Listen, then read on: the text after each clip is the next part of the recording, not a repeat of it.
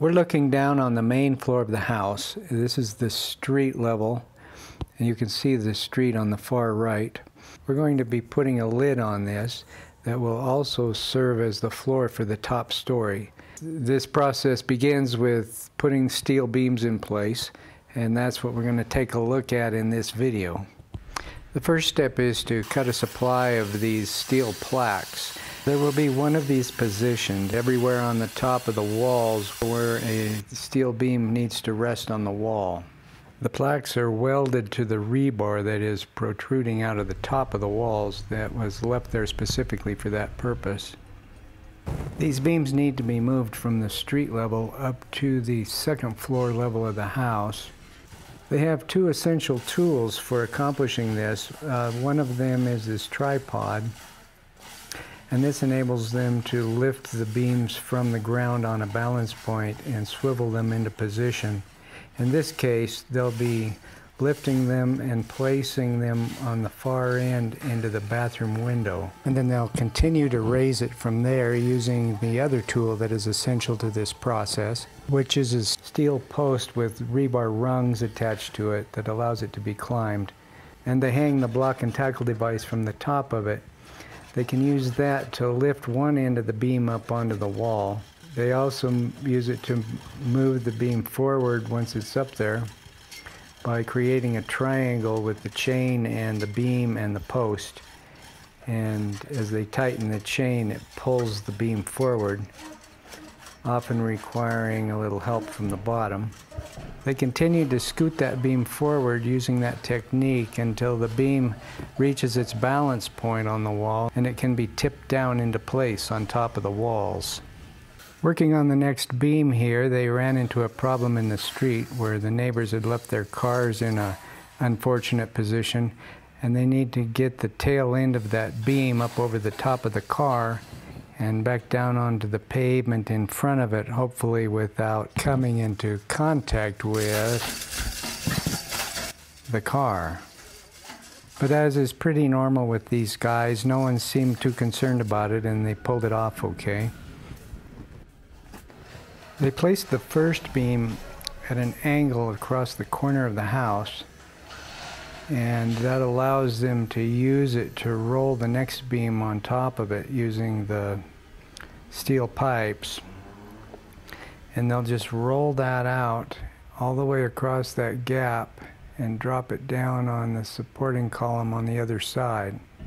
They don't have the option of using that technique to get the first beam in place on the back side of the house. They, so they pull it up onto the tops of the walls and then they'll scoot it across as far as they can without losing the balance. And then they'll have to use the pole ladder tool to finalize getting it into place. So they're setting that up now. This is a bit different than the first application of this tool that you saw where they were leaning it against a wall basically to use it like a standard ladder. In this case it'll be positioned in the middle of the room and they'll tie it off in four directions with the ropes to keep it in place while they use it to move the beam.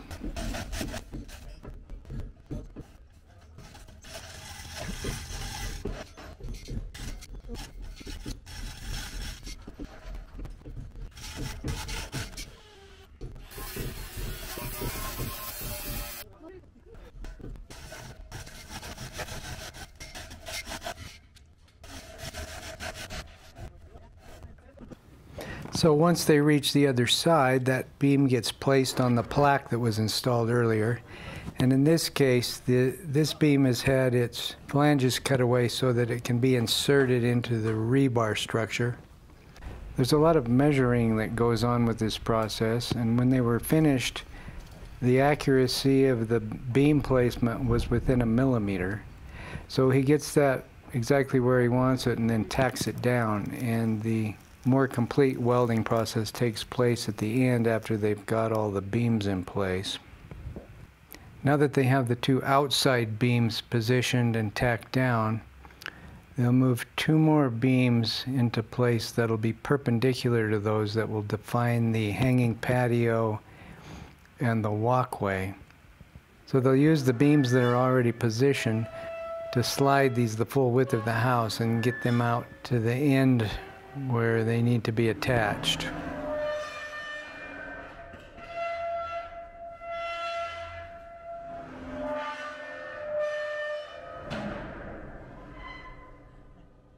So then Lalo gives them some specific instructions on how to proceed.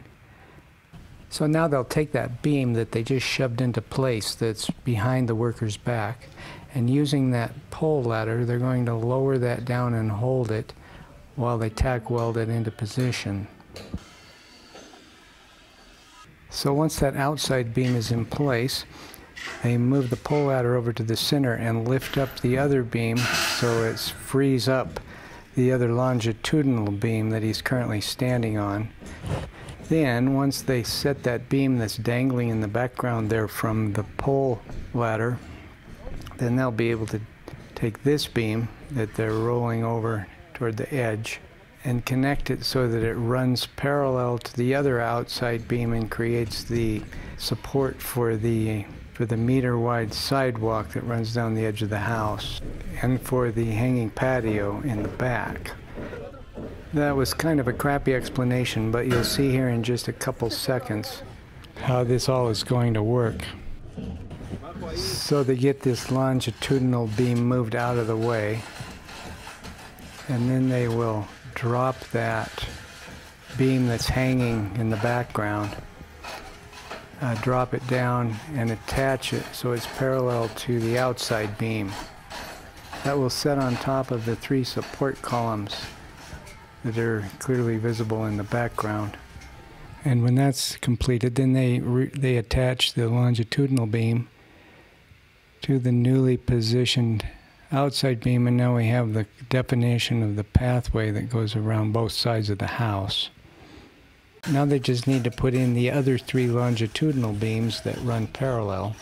So the three beams that they're about to install will all have the flange cut away like this one so that it can fit inside the flanges of the support beam. That beam fits into the one it's setting on and then it gets leveled and tacked into place.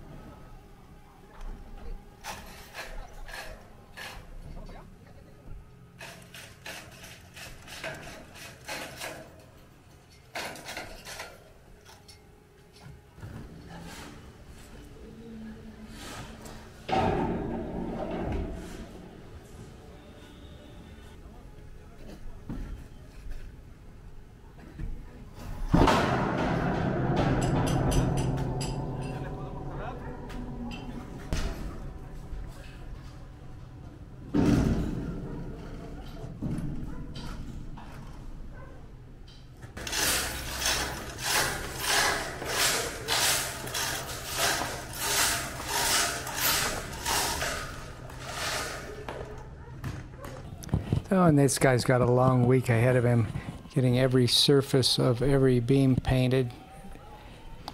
So that's it for this video. In the next video, we'll take a look at the steel construction for the garage. Hope to see you there.